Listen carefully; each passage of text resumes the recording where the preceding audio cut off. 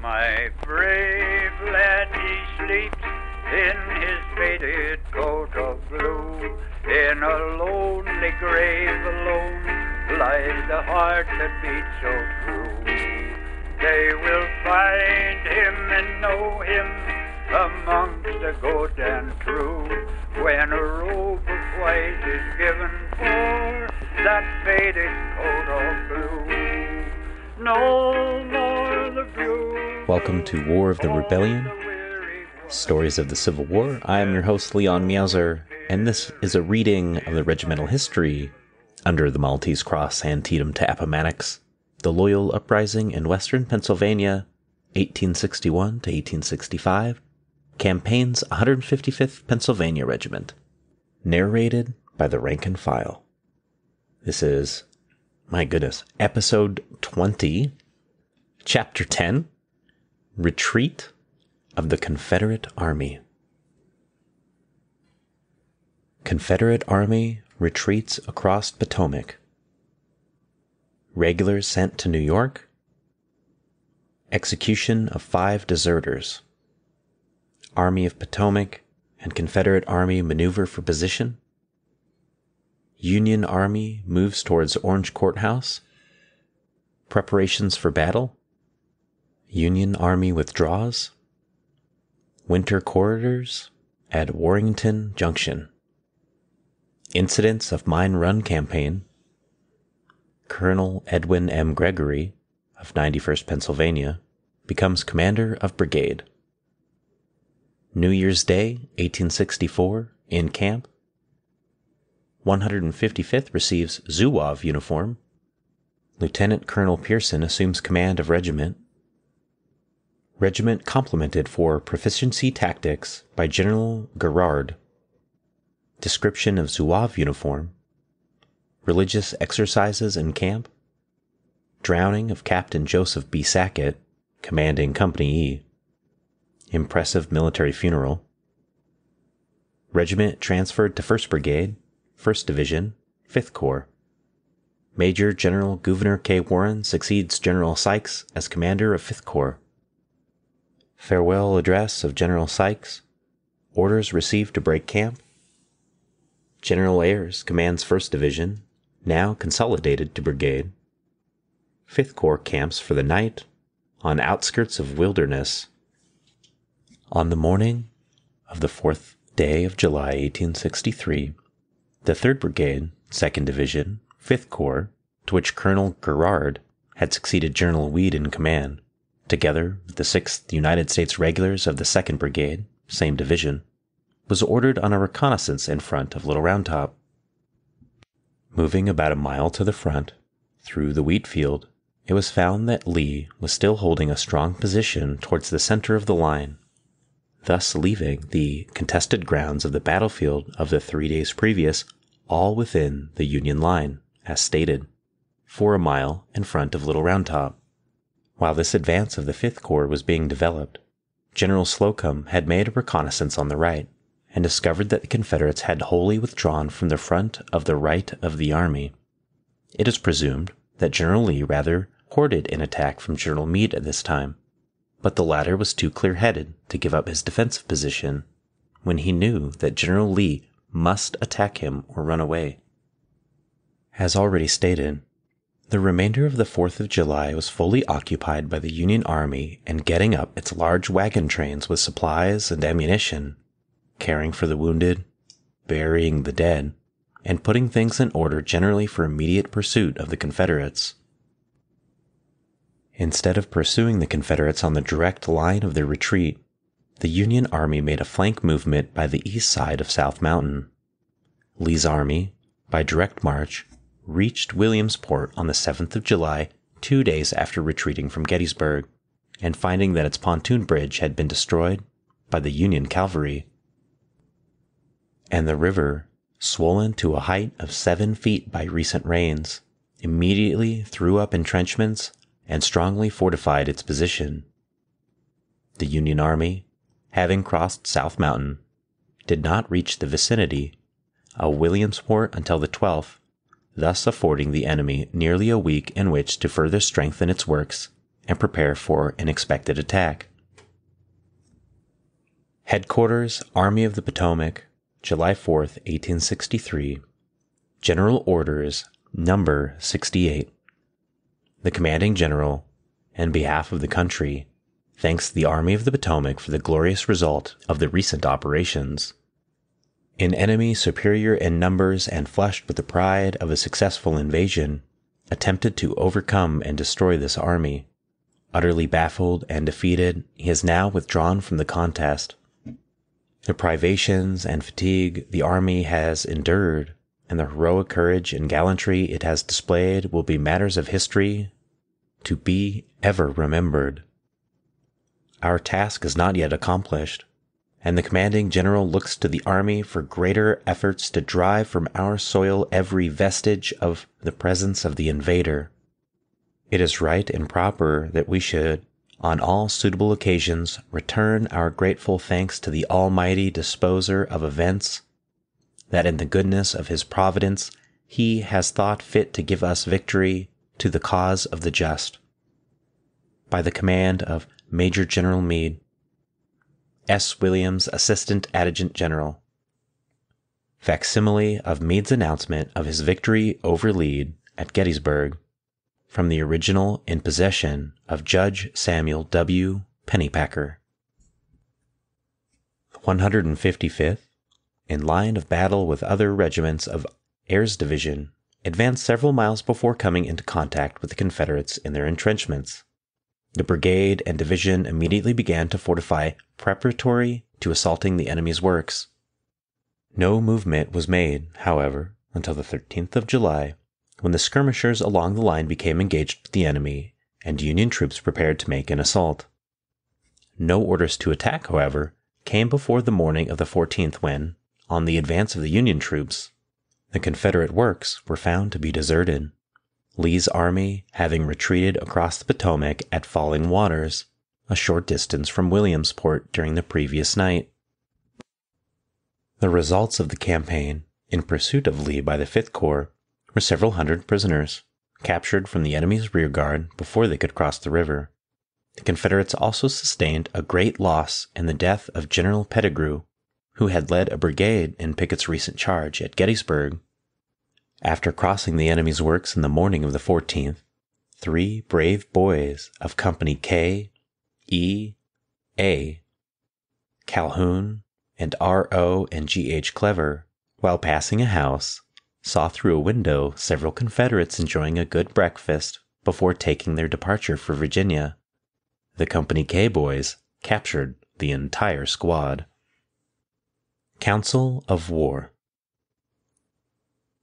after a council of war on the night of the 13th of July, at which were present Generals John Sedgwick, John Newton, George Sykes, H. W. Slocum, O. O. Howard, D. B. Birney, G. K. Warren, Chief Engineer, A. A. Humphreys, Chief of Staff H. J. Hunt, Chief of Artillery, and John Gibbon, succeeding Hancock in command of the Second Corps, the strength of the enemy's fortifications and natural defenses were discussed, resulting in quite a division of opinion as to the chances of success in case of an assault by the Union Army upon the Confederate strongholds. General Meade was from the first favorable to the assault, but was induced to delay by the many arguments adduced against it until the end of the council when he gave the order to attack. The 14th was spent in preparing for the assault but when the advance was began, no enemy was found, the Confederates having retreated during the night. The enemy's works were found to be of the most formidable character, exhibiting the highest military skill and engineering and construction. It was a matter of deep regret, in view of later developments as to Lee's condition, that he should have been allowed to escape once more to Southern soil there must have been a sting in the remark said to have been made by President Lincoln to General Meade and his corps commanders shortly afterwards that the fruit seemed so ripe, so ready for the plucking, that it was very hard to lose it. The next day, July 15th, the army was again on the move, marching 26 miles across South Mountain. The next day, the Fifth Corps moved down the Potomac to Berlin, and towards evening crossed the river on pontoons, and the 155th was again on old Virginia soil. For the next few days, the Fifth Corps moved along the Loudoun Valley amidst the marvelous profusion of blackberries. The 155th ate blackberries for breakfast, for dinner, and for supper. There appeared to be berries enough to supply several armies. During the night bivouacs, the boys exercised their ingenuity in making blackberry shortcake out of crushed hardtack and berries. On the 24th of July, the Third Corps, commanded by General French, had a skirmish with the enemy at Wapping Heights near Piedmont in the mountains. Lee's army was retreating up the Shenandoah Valley, and General Meade ordered General French to make a flank attack on the Confederate columns through a pass in the mountains. General French was so dilatory in obeying this order that the enemy's columns had all passed the point of the proposed attack before French reached the position. His advance consisted of a brigade of Hooker's old corps, who, as they moved forward towards the crest which the rear guard of Lee's troops were defending, coolly loaded and fired, then ate blackberries a while, then loaded and fired, and moved onward and up a few steps, then ate more blackberries, all the while ridiculing their general. On the morning of the 25th of July, the Fifth Corps advanced in line of battle toward the Confederate position, but with the exception of some desultory skirmishing at a few points along the line with scouting parties of the enemy, no firing took place, the main body of the Confederate rear guard having retreated during the night. After various marches and movements of little interest to the general reader, but very trying to the patience of the soldiers, the Fifth Corps and the other corps of the army retraced their steps through the mountain gap, and moving by way of Warrenton, went into camp at Beverly Ford on the Rappahannock on August 6, 1863. Two brigades, United States regulars sent to New York. On the 13th of August, 1863, the two brigades of the United States regulars under General R. B. Ayres were, with other troops, detached and sent to New York. It was expected that General Ayres' entire division, with Garrard's Brigade and the 155th, would be included in this New York detail, but at the 11th hour, the plan was changed and only the regular brigades were sent. The object of this detail was to preserve and restore order in New York City after the reign of terror produced by the memorable draft riots. On the 20th of August, 1863, five deserters from the 118th Pennsylvania, belonging to the Fifth Corps, were executed. The solemn affair took place in an immense meadow shaped like a large amphitheater. Orders were issued for the parading of as many regiments of the Fifth Corps as could be spared from picket and other duties. Five graves had been dug and a coffin placed beside each grave. All were attended by ministers of their own faith, two being Catholic, two Protestant, and the fifth was a Jew. After the procession had been formed and the parade to the place of execution had taken place, the prisoners riding in an open army ambulance alighted and were then seated on their coffins. The firing party, consisting of 16 files of men, were drawn up in front of the place of execution within 60 feet of the condemned men. The bearing of all these individuals was firm and steady, except the Jew, whose form of praying seemed to be hysterical, causing him to appear to be completely overcome. After a few minutes' delay, the bugle sounded attention, the signal for the three chaplains to retire. The prisoners were then blindfolded, and the firing detail was marched within ten paces of the prisoners who were blindfolded.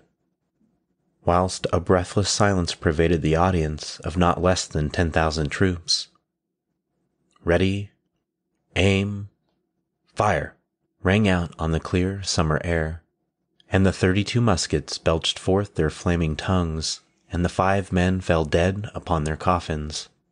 But little time was lost as the troops, playing lively airs, returned to camp. An apparent cessation of important movements of both the Union and the Confederate Army now followed.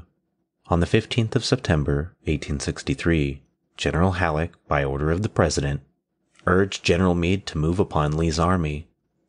It being known that Longstreet's corps had been detached from the Confederate Army and sent to Tennessee, and General Meade, therefore, issued orders for a forward movement. Then, following a series of maneuvering for position and strategic tactics completely bewildering to the men in the ranks took place, without results except overmarching and exhausting the troops.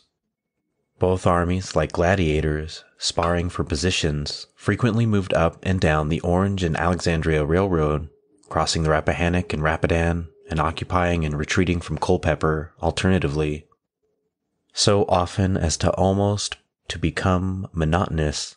In fact, from this time on until winter set in, the country about the Rappahannock and along the line of the Orange and Alexandria Railroad became a chessboard on which General Lee and General Meade played a great game.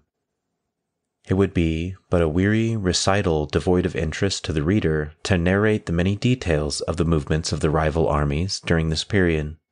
It became a constant theme for newspapers in the North that the Army of the Potomac was simply a police guard for Washington, and also urging that it should renew operations before another winter set in, when campaigning and marching of armies on Virginia roads would be out of the question. Mine Run Campaign Bitter Cold On the 7th of November, General Meade put his troops in motion to force a passage of the Rappahannock. By a brilliant charge at Rappahannock Station, the Sixth Corps, supported by the Fifth, took the works and captured 1,600 prisoners.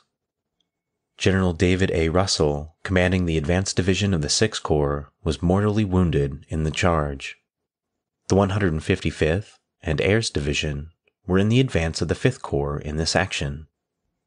The two corps then crossed to the south side of the river and went into camp some four miles east of the railroad, occupying the log cabins constructed a few days before by the Confederates. As soon as the railroad was repaired, General Meade followed this move by deciding to cross the Rapidan and to advance rapidly towards Orange Courthouse. On the 23rd of November, therefore, marching orders were issued, but, a severe storm occurring during the night, the movement was delayed until the morning of the 26th. The Fifth Corps, under General Sykes, crossed at Germanna Ford. On the 28th of November, disposition was made to attack the Confederates. After a march of several miles, the Confederates were found to have established themselves in strong fortifications on the west bank of Mine Run. The Fifth Corps moved and took position at 4 o'clock a.m., the 29th, in a thick forest immediately in front of Mine Run and the enemy's works. The opposite bank of Mine Run at this point had an elevation of over 100 feet, with a gentle, smooth slope to the creek by over 1,000 yards. General Meade, having received favorable reports from his engineers, decided to make three assaults on the enemy's works one on their left with the 5th and the 6th Corps, one on the center with the 1st and the 3rd, and one on the Confederate right with the other corps all under command of General G. K. Warren. After inspection of the Confederate position, General Meade concluded to abandon the center attack and to reinforce Warren's column with two divisions of the 3rd Corps giving him nearly half the infantry under Meade's command. Orders were accordingly issued. The battle was to be opened by the Union batteries on the left firing at 8 o'clock a.m. on the 30th, this being a signal for General Warren to make the main attack, and at 9 o'clock, General John Sedgwick was to assault with his column. Warren decides enemy's position too strong to attack. Promptly, at eight o'clock on the morning of the 30th, the Union batteries opened. The skirmishers of the 1st and the 3rd Corps advanced across Mine Run and drove into the Confederate skirmishers, and every preparation was made by General Sedgwick and others for the assault. Fifteen minutes rolled by, yet nothing was heard from General Warren. Three quarters of an hour passed, and still nothing was heard from Warren, and General Meade was fretting like a war horse under curb. At ten minutes to nine o'clock, a dispatch was received by General Meade from General Warren to the effect that the position and strength of the enemy in Warren's present front seemed so formidable that he advised against making an attack, that the full light of the sun showed him that he could not succeed. General Meade rode to General Warren's headquarters and, after inspecting the position of the enemy and concurring in the opinion of General Warren that it was hopeless to make an attack, reluctantly abandoned the assault, and therefore, when night came, the 3rd, 5th, and 6th Corps returned to their former positions.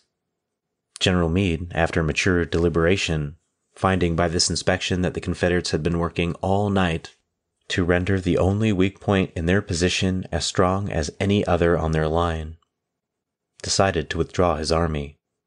The newspaper war correspondent of the period bitterly arraigned General Meade for his action in abandoning the Mine Run campaign. These newspaper comments elicited a manly, courageous letter from General Meade, in which he declared that he stood ready at any time to surrender his sword and position as commander of the Union Army rather than wilfully to sacrifice the precious lives of the men of his command, unnecessarily or without hope of great gain to the country. On the abandonment of the Mine Run campaign, the 155th Regiment was on the 2nd of December, 1863, back at the Rappahannock Station with the remainder of the Corps. The day following, the regiment moved to Warrenton, and was assigned the duty of guarding the Orange and Alexandria Railroad.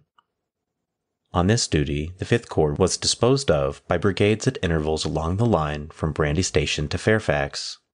And in these winter camps, the annals of the regiment for 1863 closes. The winter quarters were enjoyed with all the pleasures and duties incident to the camps until May 2, 1864, when under General Grant, a new campaign was initiated in the wilderness. Incidents of the Mine Run Campaign 155th Regiment The experience at Mine Run was unique in the extreme from the fact that after the most extensive preparations for a battle, that had been made by the commander of the army under most cheerless and discouraging circumstances, no battle was fought. Scarcely had the movement of the army from Mine Run been undertaken by Meade at the end of a month of beautiful weather, so well suited for campaigning, than the most miserable, uncomfortable, and finally distressingly cold, freezing weather set in, embarrassing movement and causing the greatest suffering and also a shortage of rations. When General Sykes, commanding the Fifth Corps, had amassed his column of 10,000 picked men concealed in the woods in front of the stream known as Mine Run, a magnificent view was afforded the troops of the fortified camps and positions occupied by the Confederate army in winter quarters. It was noted that the small stream had been dammed in front of the Confederate position, thus producing so good a stage of water as to prevent a crossing immediately in front of their positions. On the opposite banks of the stream, many large trees had been chopped down and the limbs trimmed and placed as a cordon of obstructions which the attacking party would be compelled to climb over to take the works. Also, there was an area of ground in front of the Confederate fortifications of a half mile in width, necessary to be crossed under the complete range of the many batteries which frowned from the ramparts of the enemy's fortifications. After witnessing these bulwarks of the enemy, Many a veteran's mind, unbidden, averted to thought of similar embankment and terraced works surmounted with Confederate guns faced by them at Fredericksburg. The order issued to General Sykes required a picked body of troops, 10,000 strong, to form in the adjacent woods, concealed from the enemy, and there to remain ready on the signal to charge these extraordinarily strong fortifications of the enemy. The assaulting columns would have been obliged to cross the stream of Mine Run in plain view of the enemy, to reform in line of battle after crossing, to climb over the Cheval de Frise and other obstructions defending the enemy's works, and then to march across the open plain in direct and enfilading range of the enemy's batteries. The tortures of the zero weather were aggravated by the prohibition of the generals in command that to conceal the presence in the woods of so large a body of Union troops prepared to charge, no fires to cook coffee or other warm food should be allowed, lest the curling smoke from the same should be discovered by the enemy and make known the position of the hostile hosts gathering to assault their works. 155th chosen for storming column, chaplains on duty. The 155th Regiment was selected for the post of honor in the storming column on the works at Mine Run. Knapsacks were unstrung and piled up in the rear. The faithful regimental chaplain, Dr. Mader, appeared and volunteered his services to take charge of the spare funds and keepsakes of any of the regiment who desired it, and also pinned the name of each soldier to the lapel of his blouse in view of the expected charge and the extreme probability of its heavy mortality to the ranks of the 155th, so that the bodies of the slain could be thus identified. The 9th Massachusetts Regiment, also selected for the storming column, being mostly composed of Irish citizens of Boston, Massachusetts, had a Catholic chaplain, Father C. L. Egan, who publicly administered the ceremony provided by his church of prayers of absolution to all soldiers going into battle. This venerable chaplain, standing on a stump or cliff in the woods, publicly invoked the blessing of Almighty God on all the troops there massed and eloquently prayed for the success of the Union Army. He also invoked divine forgiveness of sins to all present about to offer their lives for their country. The scene was most impressive and inspiring, irrespective of creed. Many thousands of troops knelt in reverence to the good man's prayer that God might forgive them all their sins. No signal for the charge reached the troops selected and thus massed for the attack. As the day wore on, and the suffering from the cold and exposure became intense, as a culminating incident to the interesting situation of the troops thus awaiting the order for the attack, the medical supply wagons and ambulances, with the corps of doctors and stretcher bearers, arrived in the same woods in the rear of the troops. The medical supply wagons with surgical instruments and other material were at once unloaded, and tents for field hospitals were immediately put up in plain sight of the troops, all of which was far from inspiring. The only gruesome particulars omitted from this depressing proceeding being coffins and ready made graves. The assaulting column, however, remained until nightfall when it was understood that a further inspection of the enemy's lines by General Warren, who had been given command of the charging columns to open the attack, had revealed the fact that the enemy had discovered, as Warren had reported to General Meade, the weakest part of their defenses and that the enemy had occupied the night previous in strengthening that particular point. So that when the fog subsided in the morning and Warren and his scouts renewed their inspection, Preparatory to giving the signal agreed upon for the assaulting columns, Warren made the report already quoted to General Meade, and the attack had to be abandoned. Thus, in no previous battle in which the regiment had participated had there been such elaborate preparations, or such harrowing accompaniments, or such manifest determination of the men to make the attack as marked Mine Run. And yet it was a battle that never came off, although it is inscribed upon the regimental colors. It deserves, however, to rank as a great battle for the sufferings endured and for the maintenance in position for the attack in plain view of the enemy for so long a period. The Confederates never left their formidable works to make an attack or an advance at Mine Run against Meade's army, the only hostile demonstration was in their anxiety to find out what was in the dense woods sheltering the storming column in which the 155th was assigned. The shelling of these woods by the Confederate batteries, which during the day dropped several shells into the same, in military parlance was merely intended as feeling for the enemy. It was most fortunate for the Union arms, as the sequel showed, that no battle was fought by General Meade at Mine Run, as the Confederates had devoutly prayed that he should do. For it would have been an engagement under the most adverse and discouraging circumstances, and quite likely attended with great loss of life and the accomplishment of little good.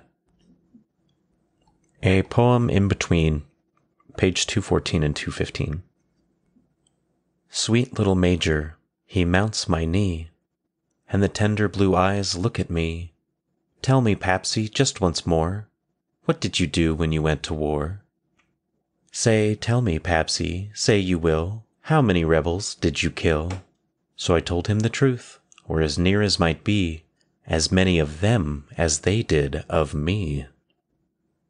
Union Army returns to old camps. Reenlistment set in. is what we will pick up next week as the army heads into winter quarters. Now let's bring up some notes I took for this episode, several things to focus on and chat about. Uh, the new division commander for the 155th, I'm going to go ahead and put a link for him so you can read all about him and all of the stuff he's done, I guess. Also, Meade's letter after the Battle of Gettysburg that he gave to the army. It must have felt like they were outnumbered by the rebels from the way that they were getting attacked. But obviously, that was incorrect. The Union Army outnumbered the rebels that time. Uh, let's see what else. Oh, the brave boys of K, Company K, Company E, and Company A. Capturing those rebels at breakfast is beyond hilarious. Because you just know those guys were like eating some flapjacks or something. And they look out the window and there's just some, a horde of Union soldiers outside being like, time to come outside. I wonder if they let them finish their breakfast or not. I would have. I would have been like, yo, eat your bacon. Come on, we're going. Uh, followed by Meade delaying the attack on Robert E. Lee's army as they were trapped on the river. And then the rebels slipping away at the last minute is some sort of like divine terrible charm that existed for both armies at this time. I know General Lee complained so many times about his own victories because he never actually beat the Army of the Potomac. It always slipped away to lick its wounds, just like he slips away to lick his wounds, and the war just continues on for two more years. Let's see what else I got here. Uh, the 155th eating crushed hardtack and berries. Sounds terrible, yet delicious. When I do my march through Maryland and Gettysburg, which is coming up, guys, it's in 90 days, I might add, which is insane to me. Uh, I'll make sure I'll do it for you guys. It's a special part of history, so right, it's part of the historical record. Blackberries and hardtack. I mean, I could do it right now. I've got hardtack in my kitchen because I've been cooking it. Oh, Lord. So I'll make sure that I do that. I'll take a video of it too. So I swear that this regiment arrives at every major moment of the war like it's a Civil War version of Forrest Gump, but for like hundreds of men. When they talked about the draft riots and that they might, they expected to go, I was like, oh, okay. Like, of course these guys would be there, but I mean, I'm glad they missed at least one historical thing that was significant in the Civil War, but it seems like they've been to them all. Got the Mine Run campaign is actually pretty fascinating. I've included on my website about a four minute video, four or five minute video from the Battlefield Trust, where they talk about Mine Run, and we'll just throw that in there. They even talk about how, you know, about French as well, just like they just made fun of him in this book, just like they made fun of him in this regimental history. Gosh, how much must it suck to be laying on the ground while it's freezing? You're at the front of an assault position. So you know you're going to die if you're going to attack this position. And you're at the very front. And it's freezing cold. And you're trying not to freeze to death. And then every now and then an artillery shell is just landing in the forest that you have to worry about. You have to stay quiet. You can't have a fire. You're just eating your hardtack or sucking on it, I guess. And then on top of that, the tents show up and they start being like, well, here's where you're going to be after you get shot and killed or wounded. Just awful. I'm glad that there was no battle at Mine Run. I, I really am. Sounds like an awful time. So I'm glad they it didn't happen to him. Uh, and I also felt that poem was like a great way to end the episode. So I just stopped it there and we'll continue on for next week. I think I'm just going to read all the way through. Might be a little bit longer of an episode for me reading, so be prepared for that. In my other news, I really am marching to Gettysburg, guys. Like, this is really happening. So, I have some marching slash hiking to do this weekend. Saturday and Sunday, I'll be doing some additional training. This is lunacy. I know I briefly touched on it a while ago that I'm going, but like I'm doing this in complete Union Army historically accurate gear, food, weapon, instruments, and I'm going to be following the same route that the 5th Corps did on its way to Gettysburg. which took me a long time to like track down and figure out. Like I'm having to do all of this on my own. So it's a lot of walking, a lot of training with all the gear. I've had it, you know, I've got the knapsack and some of the other things, canteen and cartridge box and all the other stuff that and I've been wearing it with while I've been going out and hiking and without everything extra. So just like the physical gear that they wore. It's about as heavy as like modern day body armor, so it's not that bad. And it's been very similar to hikes that I've already done and things that I've already done. So what I'm saying is I've been easily able to like move through the uncomfortableness of it, being like, yeah, this is. In fact, I might add, uh, it actually aggravates my old wounds from the same spots shoulders, side of the hips, and that kind of thing. So that was, that's, you know, it's one thing we don't think about with veterans. What actually happens to your body when you chafe it every day? Uh, I have permanent skin damage as much as I try not to, and I put on all sorts of stuff. Uh, wear my body armor rubbed against my skin day after day after day. It just, it's never healed properly. Uh, I've also been practicing my soldier cooking. So I'm going to start off in late June and reach Gettysburg, hopefully on the 1st through the 3rd. Be there for the anniversary this year. I've got about half of the planning stage finished so far. So when it's time and I'm ready to go, I'll put up a picture of me carrying all of everything and I'll do a complete breakdown on my YouTube channel of everything that I'm taking with me so you guys can look at it because I'm not taking everything as historically accurate. I'm still taking my phone, still taking a battery, a charger, like, you know, that kind of stuff. But for a lot of it, all the food I'm going to be eating is just going to be army rations. Oh man.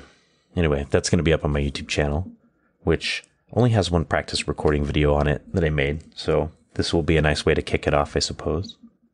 And I'll be doing the whole thing from there. It's not going to be through my podcast. You'll have to go to my YouTube channel to look at the hike when I'm done with it. And I'll probably do very short, small episodes for anyone who wants to follow along from my podcast. And then once I get back, because I'm just using a GoPro, uh, then you'll be able to really look at it. Um, or I'll be able to really edit and put things together, I suppose. So I just want to let you know, like, this is really happening. Like, I am really am crazy. I'm going to walk across Maryland and Pennsylvania on a road march.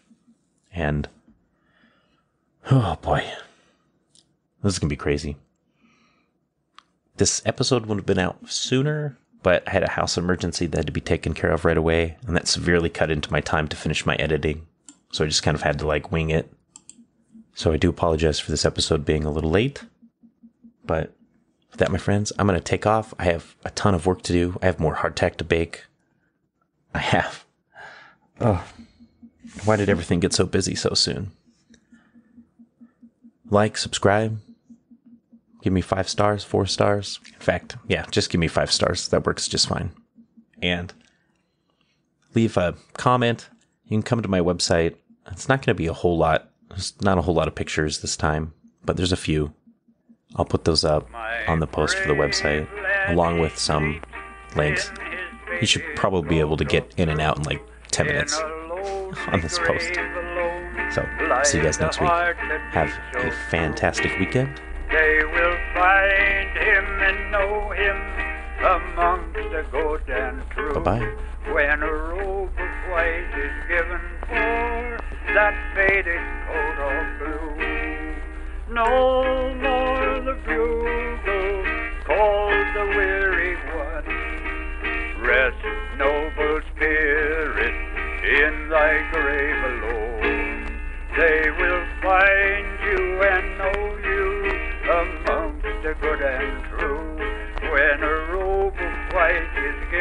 for that faded coat of blue.